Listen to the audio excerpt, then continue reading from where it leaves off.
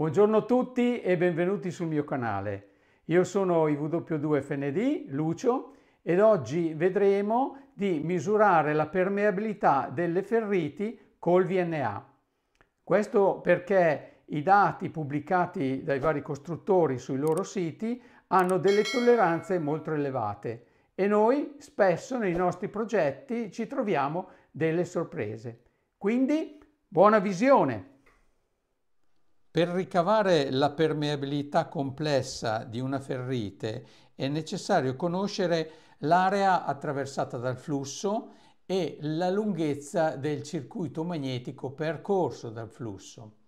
Questi due dati sono reperibili presso i costruttori, per esempio FireRite, o i rivenditori di ferriti come Amidon. Se sui siti eh, della FireRite e dell'Amidon non riuscite a trovare i dati che servono, perché magari la vostra ferrite è un po' particolare, eh, li potete misurare eh, col calibro. Però in questo caso dovete sapere che il risultato finale sarà eh, meno preciso, perché eh, per esempio in un toroide il flusso magnetico non attraversa in modo omogeneo eh, tutta la superficie della sezione, ma eh, si addensa verso il centro piuttosto che verso l'esterno. Quindi l'area della sezione che misurate col calibro non sarà la stessa area che viene attraversata dal flusso. E così anche per il percorso magnetico medio. Questo percorso magnetico medio sarà un pochino più vicino al centro eh, piuttosto che essere quello veramente eh, medio, cioè quello che sta in mezzo. Ma in mancanza dei dati vanno bene anche questi. Sappiate però che il risultato non sarà così accurato.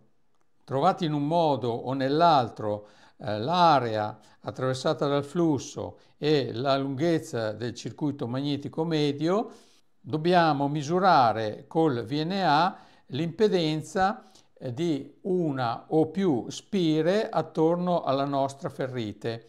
Misuriamo l'impedenza in termini di resistenza e di reattanza alla frequenza di interesse o alle frequenze di interesse.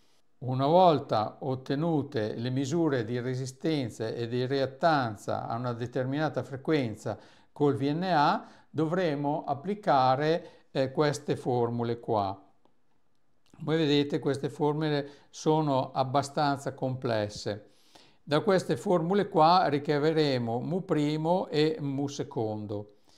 Una volta noti mu e mu eh, potremo ricavare il, la permeabilità magnetica con quest'altra formula qua e il fattore di induttanza A con L con quest'ultima formula. Tutte queste formule eh, sono prese eh, da eh, Schnelling Soft Ferrites che vi lascio, qui in, eh, vi lascio qui il sito dove potete scaricare tutto il testo. Il testo è del 1969, un po' datato, però i principi eh, sono validi. Ma dato che le formule sono piuttosto complesse e prolisse, io vi metterò uh, qui in uh, descrizione, vi metterò in descrizione qua sotto un comodo foglio Excel eh, dove troverete già un po' tutto, un po tutto fatto. Dato che i VNA eh, che utilizziamo noi eh, hanno al loro interno un ponte RF il cui valore nominale è eh, quello di 50 ohm, l'accuratezza di questi strumenti è abbastanza buona, 5 volte più e 5 volte meno il valore nominale del ponte. Quindi eh, faremo delle misure accurate eh, solamente tra i 10 e i 250 ohm. Al di fuori di questi limiti l'accuratezza purtroppo eh, cala drasticamente e quindi anche le nostre misure diventeranno poco accurate. Per questo motivo eh, vi ho detto prima che bisogna fare una o più spire perché di solito se le ferriti sono eh, abbastanza permeabili eh, basta una spira, ma eh, per ferriti a bassa permeabilità è necessario fare più spire, farne due, tre, anche più. Purtroppo fare più spire eh, vuol dire avere più capacità parassite tra spira e spire e quindi falsare ancora di più la misura perché i parametri parassiti che affliggono la nostra text eh, fixture vanno a, eh, falsare, a falsare la misura, cosa che avviene anche con una spira sola, però se la ferrite è molto permeabile questo dato eh, verrà eh, trascurato, si diluirà, mentre se la ferrite è poco permeabile invece questo dato può essere anche eh, importante. Tutto questo panegirico per dirvi che eh, la misura eh, dei parametri di una ferrite eh, si può fare col VNA, eh, però bisogna tenere conto di tutte queste cose qua. Quindi tra 10 ohm e 250 ohm e avere degli elementi parassiti della fixture molto piccoli, quindi fare con pochissime spire. Ciò penalizza le ferriti a bassa permeabilità che danno dei risultati spesso eh, molto poco accurati. Adesso andiamo in laboratorio e eh, vediamo di eh, fare qualche misura. Ho calibrato il nano VNA tra 100 kHz e 30 MHz. L'ho calibrato col Kitzol eh, sul piano di riferimento convenzionale del connettore N ed ho aggiunto 133 picosecondi spostando il piano convenzionale sul eh, piano eh, di misura ove ho inserito una spira di filo comunissimo filo. Sul display rappresento con la traccia gialla la resistenza e con la traccia verde la eh, reattanza. Entrambe eh, sono rappresentate eh, mediante eh, una scala di 20 ohm per quadretto. Come potete vedere eh, questa spira qua è tipicamente induttiva, infatti la traccia della reattanza cresce linearmente con la frequenza e a 30 MHz presenta 8,39 ohm. Come vi dicevo nell'introduzione, il metodo consiste nella misura della resistenza e della reattanza di una o più spire avvolte attorno una, alla nostra ferrite. Eh, per verificare eh, il metodo ora ho inserito una ferrite eh, conosciuta, infatti questa è una FT 24061, ferrite che può essere utilizzata come trasformatore di impedenza fino a 30 MHz, per cui vado a leggere i valori di resistenza e di reattanza proprio a 30 MHz il nano VNA mi dice che la resistenza è 14,7 ohm e la reattanza è 43,8 ohm, dati che andrò a scrivere eh, sul taccuino e poi inserirò nel foglio di Excel. Ecco il foglio Excel. Come potete vedere è minimale ed alcune caselle hanno lo sfondo bianco Altre caselle hanno lo sfondo grigio. Le caselle con lo sfondo bianco sono quelle dove dovremo inserire i dati, mentre le caselle con lo sfondo grigio sono quelle che contengono le formule e ci rilasceranno i risultati. La ferrite che abbiamo appena esaminato era un FT 24061 l'abbiamo eh, misurata a 30 MHz, quindi scriveremo 30.000 kHz. Il numero di spire era uno solo e i valori che abbiamo rilevato erano 14,7 ohm, 14,7 ohm e 43,8 la parte reattiva. I parametri fisici della ferrite 240 li possiamo trovare in questo altro tab che vedete qui sotto, dove c'è scritto fisici. Andiamo a vedere per comodità e troviamo che A con E in centimetri quadrati è 1,58, mentre L con E è 14,5. Quindi metteremo 1,58 qui al posto di A con E, 1,58 e abbiamo detto 14 e mezzo, 14,5, quindi 14,5. Una volta che abbiamo inserito i valori nel foglio Excel, immediatamente avremo i risultati. Quindi l'impedenza eh, complessiva è 46 ohm, quindi siamo nel campo di misura eh, dello strumento e la permeabilità magnetica mu' serie è 169,7. La permeabilità magnetica mu secondo è 56,95.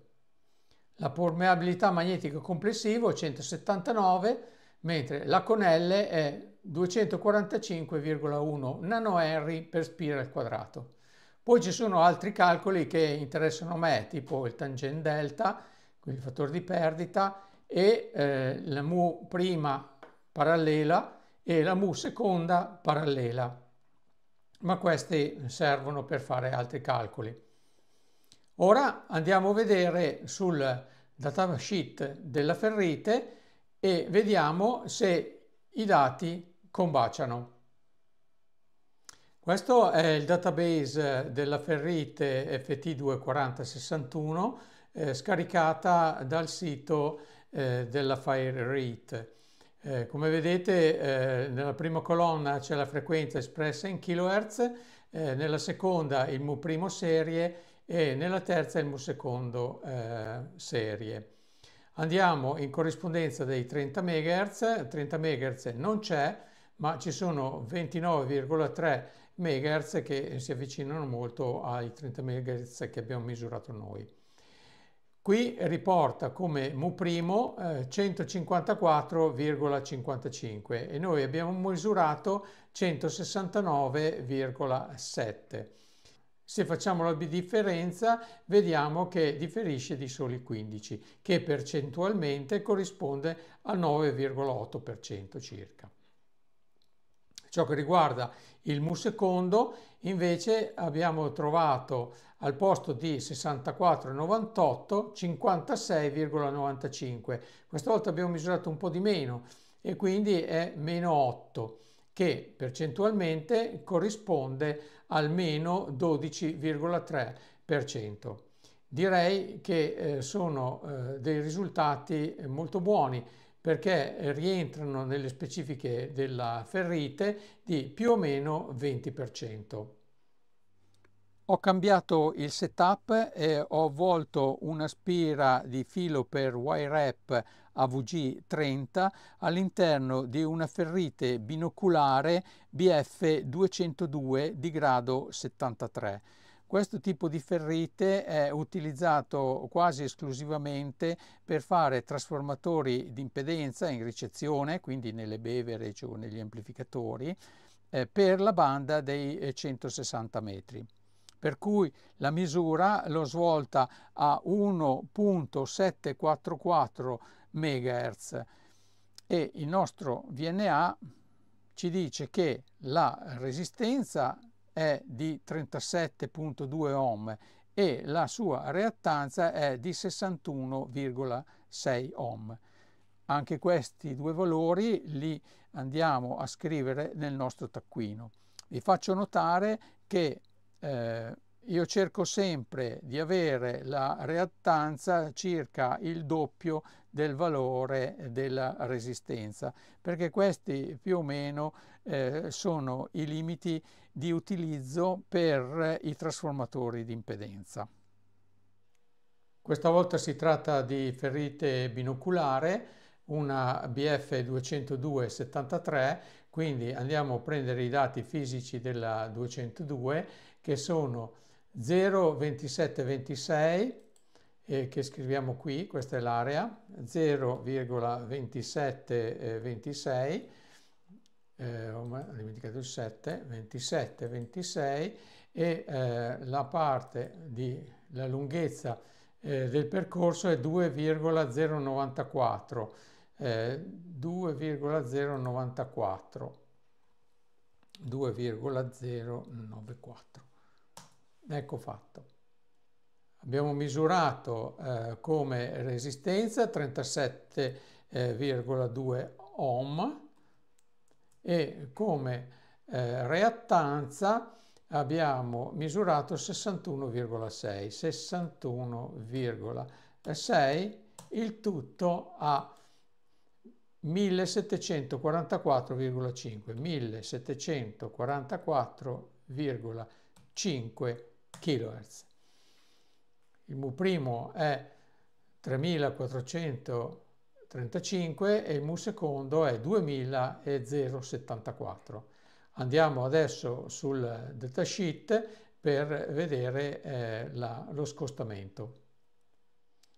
Non la faccio tanto lunga e in questo caso lo scostamento è rilevante e per ciò che riguarda il mu è molto più alto e praticamente è più del doppio del valore eh, dichiarato e la parte, anche la parte diciamo così di mu secondo è molto alta, è il 63% in più. Come potete vedere è sempre bene misurare eh, i parametri della ferrite che si ha in mano perché ci potrebbero essere delle importanti sorprese. Anche questo video finisce qui.